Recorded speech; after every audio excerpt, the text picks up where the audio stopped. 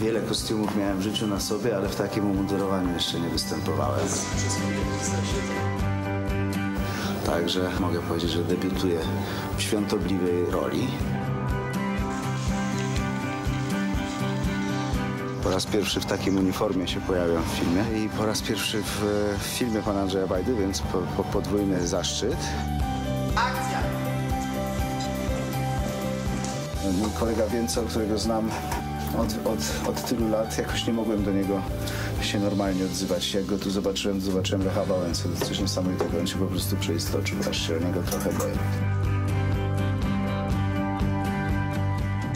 Nie umiem mu opowiadać tych wszystkich pieprznych dowcipów, które zazwyczaj. Raz, że on w swoim uniformie, a ja w swoim. Dzisiaj jesteśmy bardzo świątobliwie się za- za- zachowujemy. Do zobaczenia w kinach.